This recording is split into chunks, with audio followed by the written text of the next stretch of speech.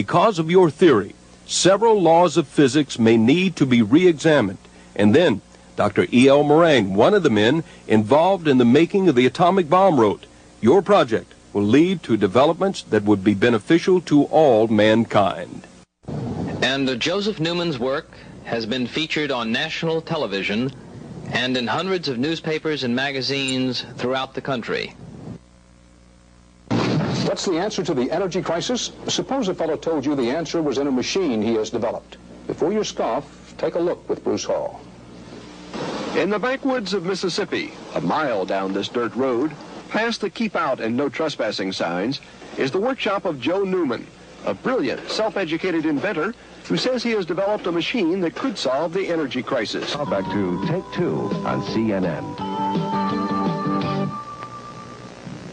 What if someone invented a machine that would make the gasoline engine obsolete? What if someone invented a machine that produced more energy than it used? And that energy is cheap, non-polluting, and safe. That person would probably be hailed as the greatest scientist since Einstein, with a discovery as important as electricity and as revolutionary as the wheel. Joseph Wesley Newman claims to have invented just such a machine. He says that his energy machine could power every American home, farm, business, automobile, and appliance with electricity at a fraction of the present cost.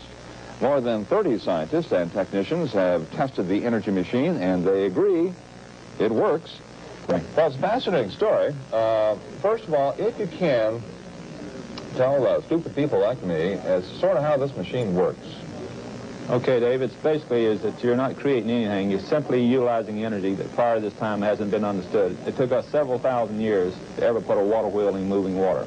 And basically what I'm doing is utilizing the energy in the magnetic field that consists of matter in motion, exactly like a moving river does. We are back. Well, would you welcome, please, Joseph Newman.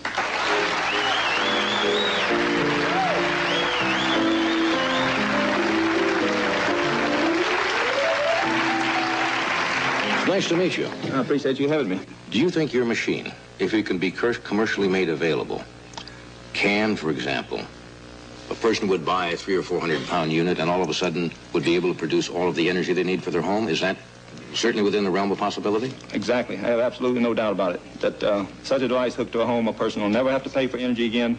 The device will be made uh, smaller to put in an automobile, plane, spacecraft, you name it. This device. Using the atoms from the, from the magnetic field and what you're doing is that you're converting mass into energy on a 100% conversion process. That's one of the first prototypes, and it, uh, that's a 700-pound magnetic rotor, and it's got uh, about 8,000 pounds of wire around it. Now, it's gone down. That unit there weighs 135 pounds, and I showed that at the Hilton in uh, New Orleans. There was approximately uh, 2,500 people attended, 1,000 people outside, and another 12, 1,500 standing to get in.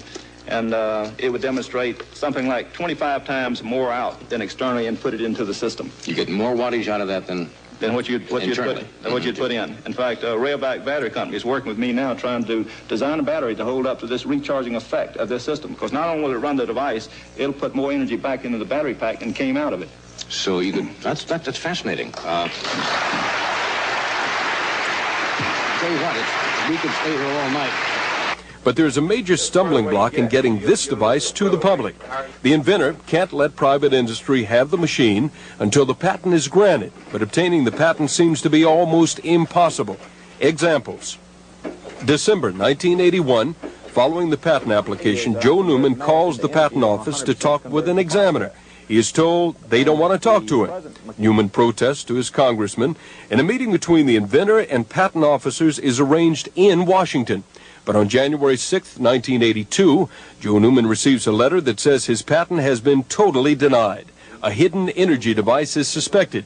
But the scheduled meeting on January 27th is held nevertheless, at which time the examiner told Mr. Newman, I don't think I'll ever be able to give you a patent, no matter what evidence you present to me. The reason for that statement?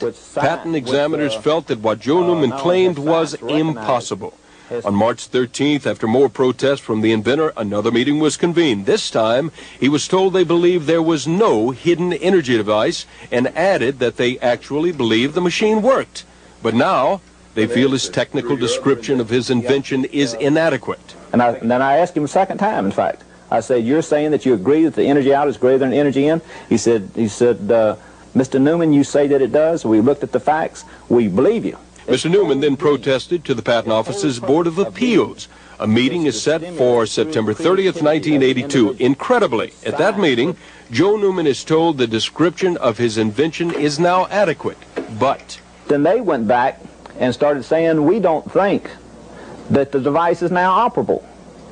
Now, and, and also at the time of this meeting, they gave me two minutes, two minutes at the very end of the discussion that they allowed me to get up and try to discuss eight, uh, eight, oh, at that time it was 17 years of work in two minutes. So in little less than a year, the U.S. Patent Office has told the man who just may have an amazing machine, number one, they didn't want to talk with him.